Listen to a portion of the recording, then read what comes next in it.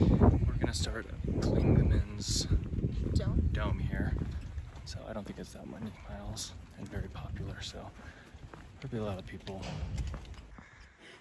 Well, this is a pretty steep incline, but it is all paved and it is seemingly a very popular trail.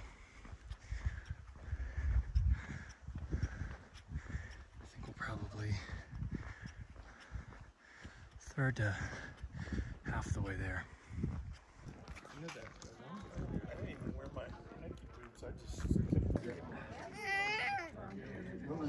These are some great views up here. You can really see far distance.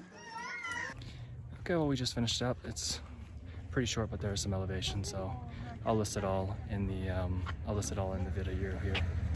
Thanks for watching.